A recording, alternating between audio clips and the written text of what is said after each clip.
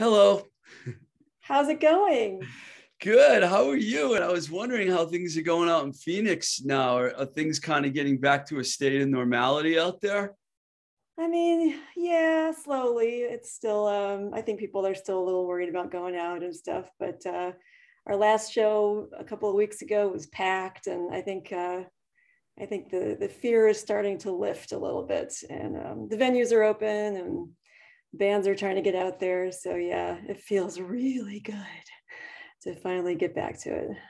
Yeah, I know. I mean, it's same here. You know, we had we had a it's been a nightmare. It's not really over yet. But I was in New York uh, a couple days ago, and it was pretty cool being on the subway and everyone wearing masks. It made me feel more comfortable. You know what I mean? Good. That's good to hear. Yeah, we'll be there in in June. So I was wondering how things were going there by then I think we should be a lot better than it is right now. I hope. We Fingers hope. Yeah. We said that a year ago, didn't we? so if you like, I know you went to the University of Michigan because you're a proud, you're proud of that, which Very is cool. If you spent your whole life in Phoenix, because I don't know if I even know that. No, I grew up in Chicago, um, in the outskirts of Chicago in a in a, a little little suburb called Lake Zurich and it's not so little anymore, but it's uh, it's close to the Wisconsin border actually. And um, I studied piano there and classical piano, and um, I went to Michigan every summer to um, a big music camp there called Interlochen um, National Music Camp, where I studied more. And then when it came time to go to college, my whole family went to the University of Michigan, so I went really? there, studied psychology, and did some did a lot of music on the side uh, I played piano for all the opera students for their their voice lessons and stuff, and that's how I paid some of the bills. and uh, how did you end up in Phoenix and when? Well, after I graduated law or uh, undergrad, I wanted to go to law school, and um, uh, actually had a boyfriend out in LA, and I wanted to get as close to the West Coast as I could. So I started applying to all the law schools out here, and uh, University of Arizona gave me a really nice scholarship, so that's where I landed. And I just stay. You know, you when you when you go somewhere for law school, you set up all your professional contacts and you start making all the, you know, all the job prospects and all that, and your all your friends and all your lawyer friends and all that end up being from here, and so you just sort of stay. And um, I never meant to, to live out in some hot weather place. I don't like hot weather. It's not my thing. you know, I really miss the snow. I really miss the, the seasons. But here I am 20 years later and I'm still I'm still chugging it out. So um, yeah, I think you just get stuck here. I know uh, University of Arizona is in Tucson. So were you right. there for a little while before you moved to Phoenix? Yeah, just for just for law school, and then um, and then uh, the job offers came up from Phoenix. So Phoenix is a big city, you know. So yeah, oh yeah. Uh, I came up here and I worked for a judge for a little while while I studied for the bar, and then uh, I got my first job as a prosecutor and just stayed. So that's cool. Um, you know, everyone knows that you were in the Love Me Nots for a long, long time. I think like six albums, right? Yeah, it was about it was about 10 years. Yeah, I remember. you know, you were there from almost the get-go. I was at the beginning and the end. Uh-huh. But uh, you know, but I followed you guys all along, even though, even though I wasn't there in the middle. You know, um, I want to talk about the darts. Um, because soon as the band broke up, soon thereafter, Love Me Nots, you and Christina got together with, I believe, Michelle and Rikki Styxx. That was the original lineup. And you guys really got out of the box really quickly. I mean, there was a buzz right from the beginning. Talk about that. What was that like at the beginning? Well, it wasn't, I don't know if it was entirely by accident because um, the Love Me Nots were on a, on a good high peak right then. We had just come out with new albums and toured it in Europe and just as that band was dissolving, you know, Christina and I were like, let's let's start this girl band we've always wanted to do. We've always talked about it.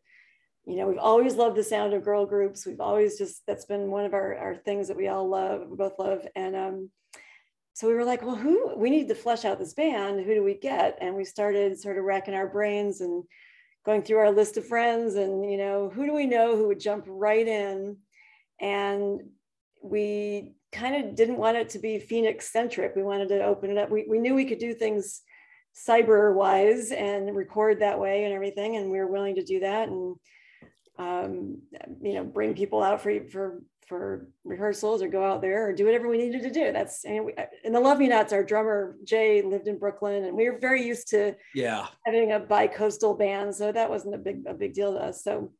Um, I knew Rikki from um, way back when she was in all kinds of bands, but most recently uh, she had been in the Dollyrots and I had seen her play.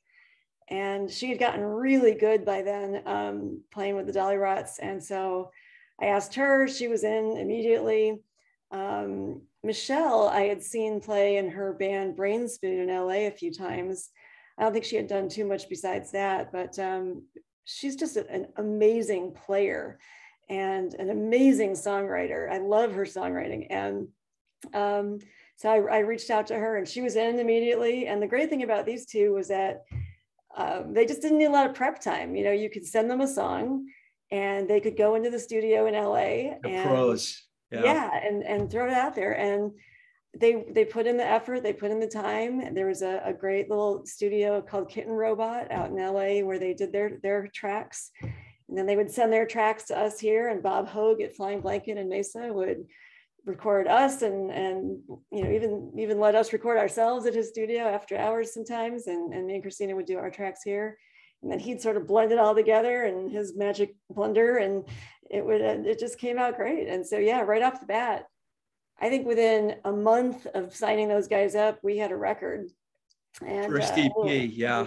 Yeah and uh, you know, when you I think when you have girls like that who I shouldn't say girls, women like that who are very plugged in themselves into their own connections. Um, Rikki especially is really good at self promotion and all that stuff, and it's like you absorb all their contacts too and all their connections and all their fans sort of jumped on board. And so it I don't want to call it a super group because it was tiny, but like you know, it kind of acted like that where you yeah.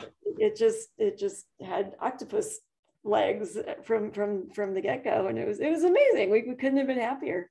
And they were really willing to tour so we just hit the road immediately. And you know if you want to add in with the changes as i go along feel free but i know you put two eps out and then meow came out in july 2017 and right. you did a lot of touring on that record.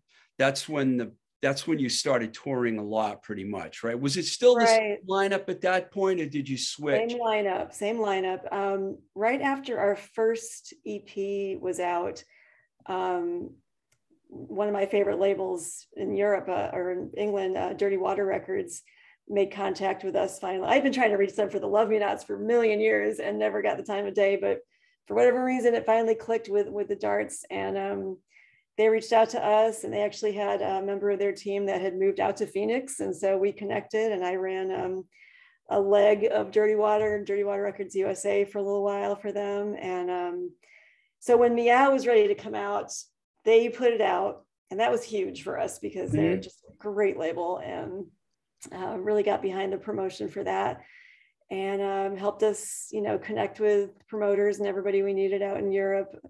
I mean, the Love Me Nots had all that already in a way because we had we were on a, a French label out there, but um, it, it, really helped to have Dirty Water behind us and, and running that show. They, they just do a great job, and we're still very connected with them. They just put out helped put out our our seven inch uh, Love Tsunami. They're they're one of the the backers for that too. So they're they're still in the mix, but great people.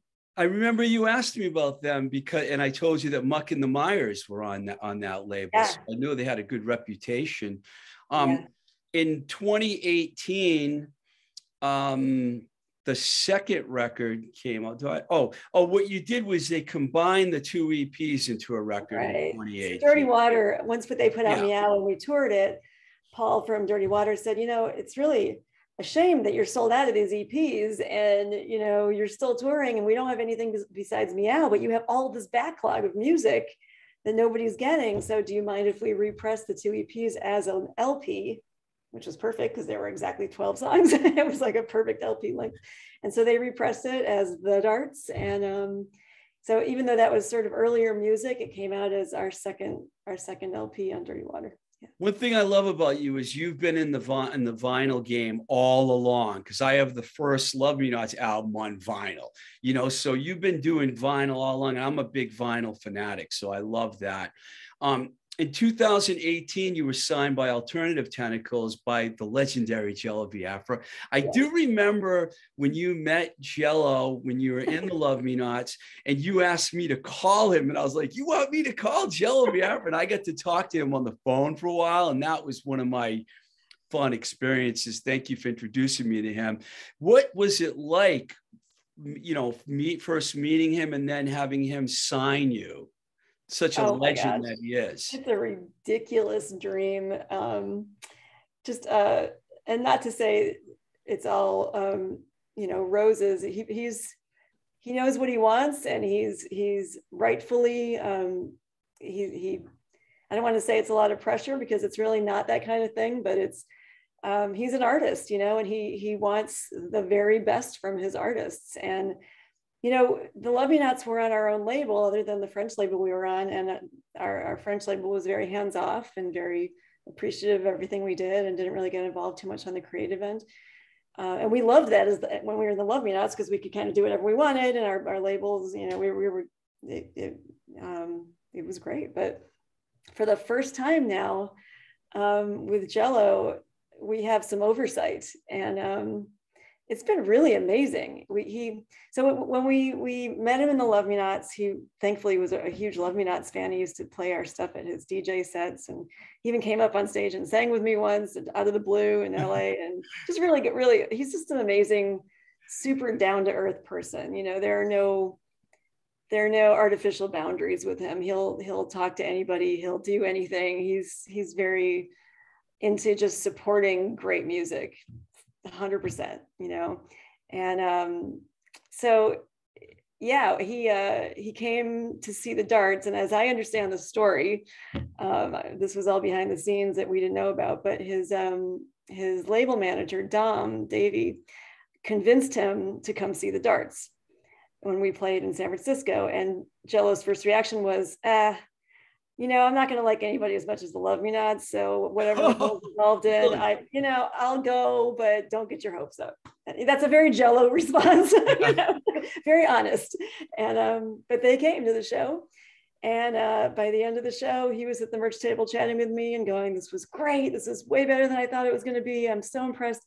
And um, and you know, Dom talked to me at length, and by the end of that that conversation. We'd already planned to do a seven inch with, with AT as quickly as we could, which we put out with them right away. Um, had two, two songs, Bullet and Subsonic Dream on it. And um, so I, my Dirty Water USA helped put it, that out too. So we sort of did it as a split.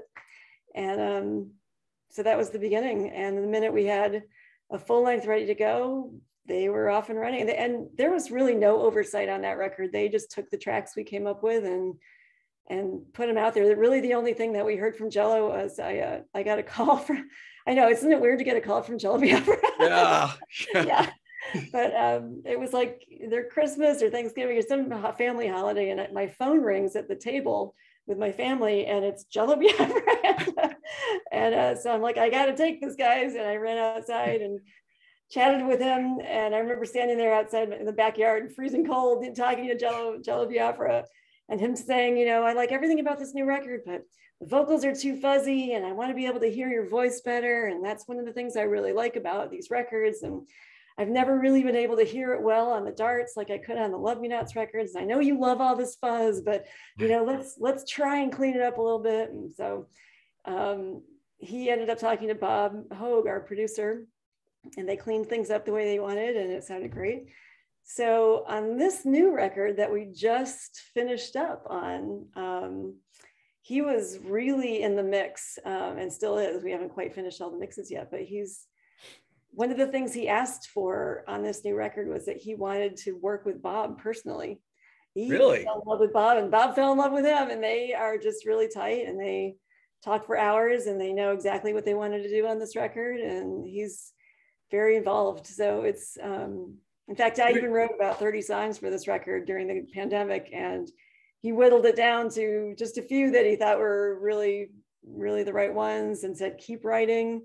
You know, I know you've got better stuff in you. Keep going, keep going. And um, You're too easy to you're too easy to interview. You're like a runaway train. sorry, I, I know I'm not letting you know where it is. Can I just step back for a second? okay, sorry. Uh, I got. I wanted to talk about uh, "I Like You, but Not Like That" because it came out on May twenty fourth, twenty nineteen. My birthday is May twenty fourth. I remember when it came oh, out. I was like all excited. You know, they released a record on my birthday, but there was some huge shows that I I don't want to just go past because Melissa joined you right before. Did she play on that record too? She did, right? She did. I yeah. interviewed her and I forgot that. Of course she did. But um, you ended up doing punk rock bowling, and I saw the uh, the footage from that because you played on the main a main stage. Uh, talk about that because that must have been one of the highlights for you in your oh career oh doing gosh. that. That day, that day was insane. Um, just to be on punk rock bowling to begin with was was a dream, and then to find out that we were playing the main stage, and then AT had a, a Alternative Tentacles had a booth set up. They just happened to be going that year, and they don't go every year, but they went that year and set up a booth. And so they were like, you know, we should make this the album release because we're going to be there, and it's a big show, and let's do it. So I we had been on tour anyway, and we ended up going out there kind of exhausted already. And that morning of the show, we did a StageIt for whatever reason. Uh, from Las Vegas that morning. So we were, you know, we had done this huge show on the StageIt, and then um, went to the went to the the show and played the main stage, and then exhausted ran to the booth to start signing records, and it was unbelievable. The the line out the booth went like all the way down. I don't know if you've been to punk rock bowling, but it's all the booths are on the street. And the line went all the way down the street. Wow. And I mean, I'd never seen it. It was so, it was the coolest feeling ever. And we signed a gazillion records and had, did a bunch of interviews. And AT was thrilled. Our our um, photographer Kelly, who did, did the photographs. Kelly, Kelly's awesome. Kelly, and she was there, and Gil Roberts, who did the layout for the, a lot of our records, he was there. And so it was like the whole team was like on board, and um, everybody was signing stuff, and it was just a blast. It was like a big party all day after that. We were freaking exhausted by the end. so. I was gen- genuinely happy for you because you are a hard worker. You and Christina have been at this for a long time. So to see you guys have success like that was really great. And then, of course, the Damned tour. When I heard about that, I was like, ah, Melissa, when I had Melissa on the show, she she gave me the she told me how exciting it was and she couldn't believe it because she was like i'm in the band and tomorrow i'm on tour with the damned. I mean it, it was, was, crazy. Like... it was crazy. Um yeah we she joined the band in july and we toured with them in october.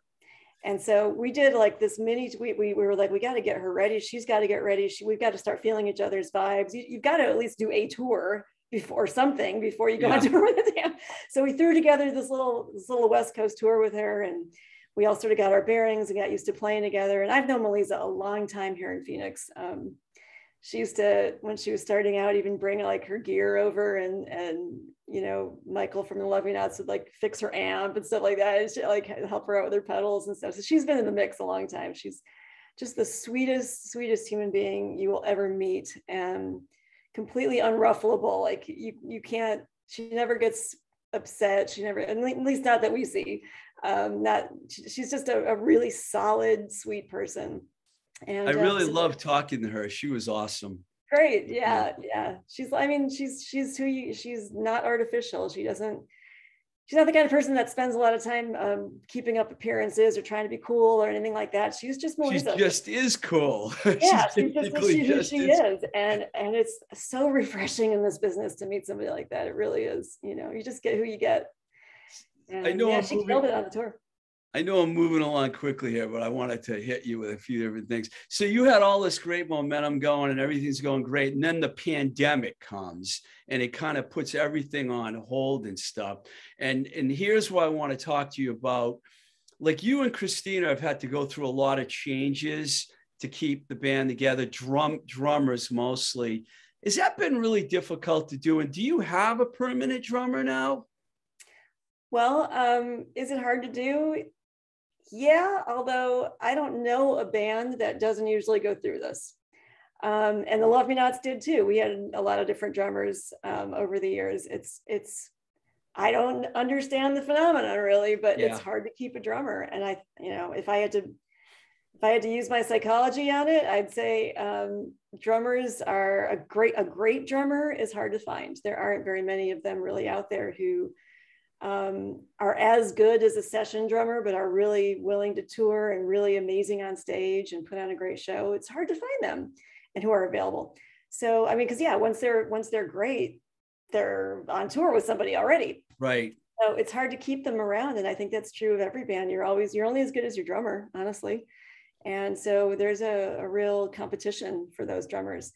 And um, so, yeah, when um, Rikki stepped down, we, uh, I don't want to say floundered, but yeah, we, we, um, we were very lucky to find Yanel Aguirre here in town, who's a friend of a friend. And she's an amazing drummer and she um, she stepped up and said, "Yeah, I'll, I'll pinch hit and whatever you guys need." And she actually did a Hipnosis fest in Mexico City with us and went on tour in Europe with us, and she was fantastic. And um, uh, for a lot of reasons, that didn't work out. And then Maggie stepped in, and for a lot of reasons, that didn't end up working out in the end. And um, I mean, it's, it's it's really hard to keep it going for sure. But and some of it was illness, nobody's fault, and some of it was just you know, just um, personality and, and band politics and things like that that aren't any fun, but it, it worked, you know, it's, it, that's the way life is. And so you have to find the right fit. Was And, it Bob, um, was it Bob did Bob Bob Hoag, who you worked with forever, by the way, who's really good. Uh he did he I think he filled in with the Love Me Nots at one time. Did he ever play with Yeah. the darts too? He stepped in with the darts a couple times, just for a few shows. Love the Love Me Nots. He was actually our, our official drummer for West quite a Coast while. Um, drummer. I remember. Yeah, he he actually played on Upside Down, Inside Out, and um, and even on some songs on, on other on other albums. But um, he toured Europe with us. Even when we got stuck in Europe for three weeks, when that Iceland volcano went off and we couldn't fly home, he was there with us for all that time. you know? Wow. he's, he's done a lot with us. He's a member of the family for sure. But yeah, so um, the answer to our to your second question, do we have a permanent drummer? After all the drama, we've decided, at least for the moment, not to have a personal, a, a professional, permanent drummer, but to rather sort of dip into our whole um, girl team thought process and have this like team of drummers that we can rely on. And that even applies to, you know, substitute guitar player, whoever we need, like to have this team of women who just is great on stage and knows the set and can Cool. help each other out and be comrades about it. And, you know, we help each other with each other's bands. And this concept is working out great. So we have actually several drummers on board ready to go, and they're amazing. And the first one is Mary Rose Gonzalez, who just played on this record from Chicago. So Wow, that's fantastic. It's yeah, it's great to have those kind of resources for sure. Um, Reese, the most bringing us right up to date here in April, you guys um, put out "Love Tsunami." I actually played it on my show a couple shows ago. uh, thanks. really Great. great, great, sounding great as ever. Thank you. And, and then you started talking about the new record. Are these three songs that you just released also going to be on the new album? They are, but they're going to be new, uh, new players and and new uh, New versions. new versions. Absolutely. Oh, So Love Tsunami, the EP or the the seven inch, um, for the first time in our in most of our lives, even Melissa had only really recorded with Bob. Bob's the go-to man here in, in Phoenix, but um, um, I had been dabbling for a couple of years on bass in a band called the Funerals here in Phoenix. oh yeah, yeah. Yeah, and um, Gerald, who's the singer for the funeral, is a really good friend of ours. Um, he also teaches at the recording conservatory here, and is a he used to be an intern of Bob's and things like that. So he's kind of in the mix and the family too. But um, Gerald opened up a studio, and um, the funerals had been recording there.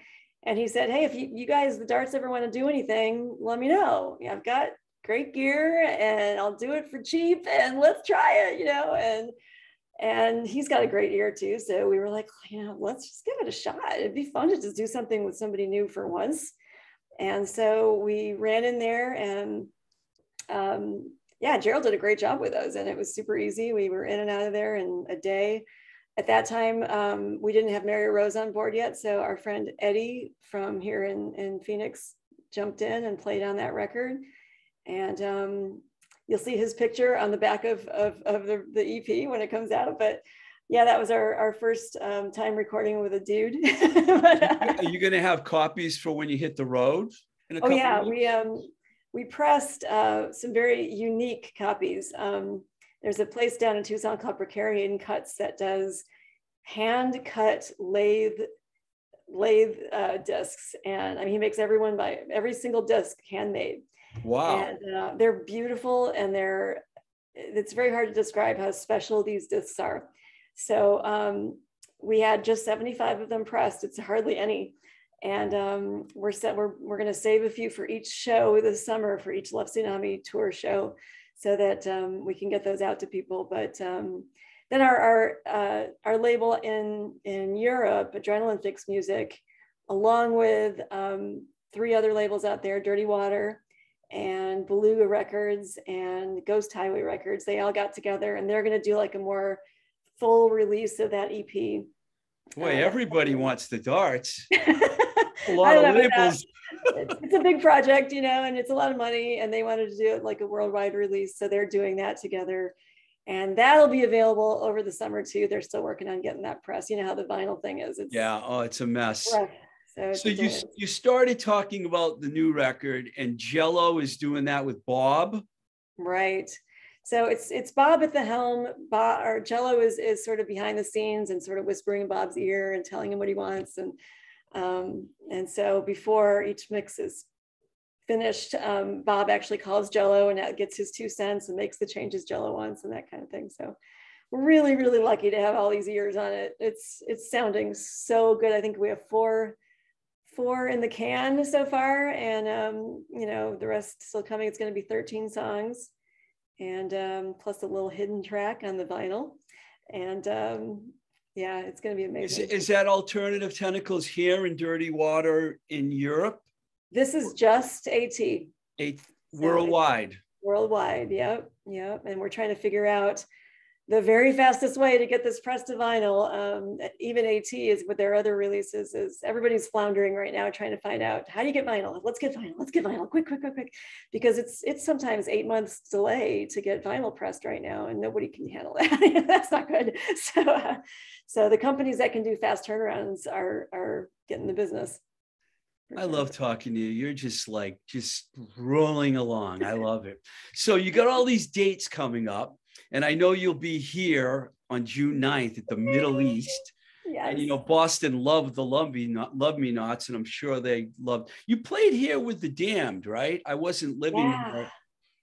Yeah, we did. It was amazing. Um, we we played so many places with the Damned. It was a full U.S. tour, and um, it was just a dream come true. But yeah, we haven't been back to Boston since then. That was in um, when was that? 2018, I think.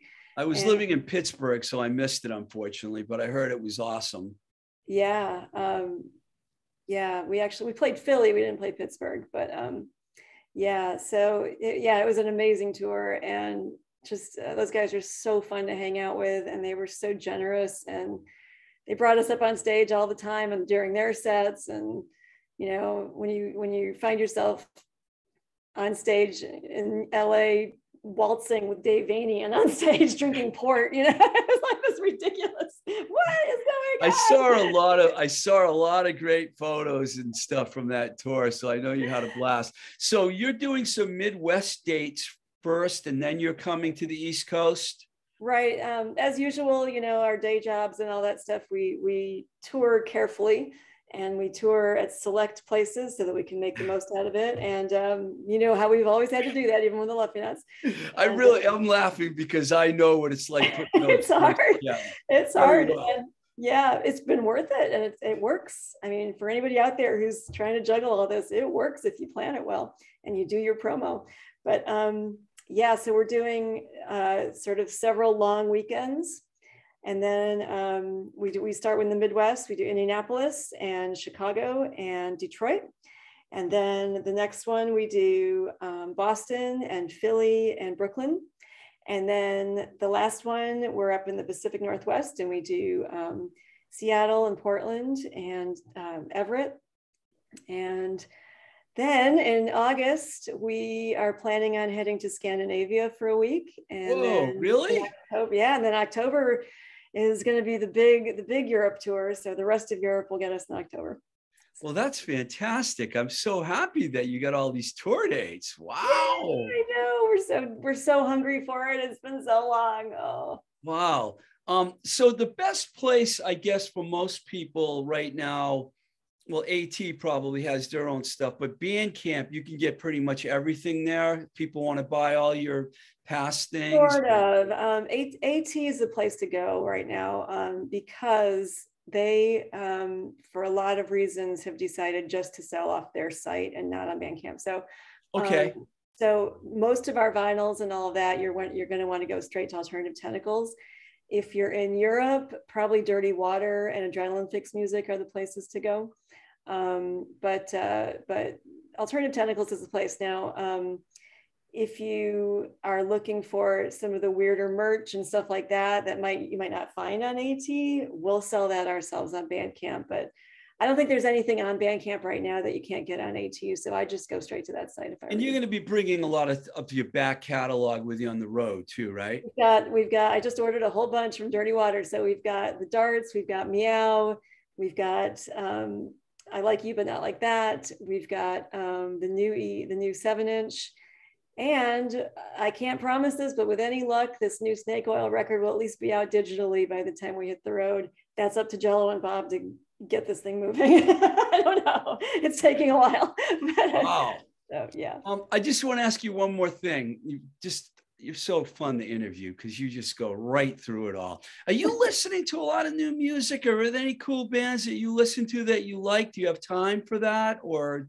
You know, I don't listen to a lot. I am very ashamed to say that because I, I would love to to support as many bands as I can, but what I listen to is mainly um, things I just happen upon if I'm scouring social media a little bit or um, word of mouth. But um, one of the bands I really like that I was turned on to by a fan of ours was Small Town Tigers. I think they might be from Spain, um, and uh, they were actually scheduled to do some some dates with the Damned and had to drop out in the last minute because of t- pandemic stuff. But these girls are awesome, and um, so I really like Small Town Tigers. I'm a big fan of LA Witch.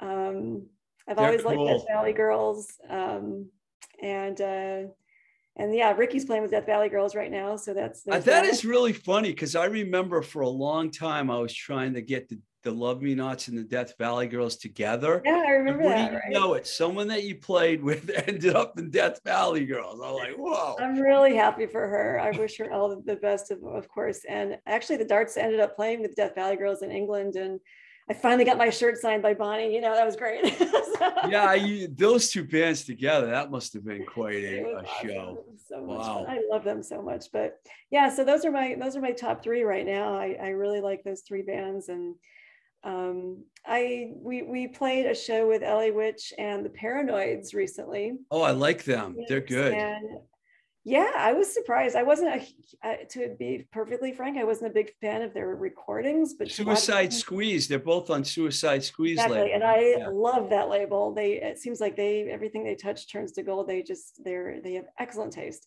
Um, their your, their curators are, are fantastic. But um, when I saw the Paranoyds play live on stage, I got it. Like I understand, they they put on a great show, and I urge you to go see them for sure. Well, thank you for taking the time to talk with me. And uh, I am going to do my very best to get to that show on June 9th because I want to see you guys. And uh, it's been so long. And please, uh, you know, hi to Christina and Melissa. And uh, I'm with you all the way, man. I'm, you know I'm I, I just got to put in my two cents here and just say thank you, Steve, for all that you do. Not you did so much for us over the years, but also you do a lot for other bands. And it's your your influence can't be can't be underestimated. You, you too nice. A lot more than you think you even do, I think. So so thank you for that. Well, thank you. And I look forward to seeing you guys. Yeah, we'll see you soon, hopefully. Okay, thanks.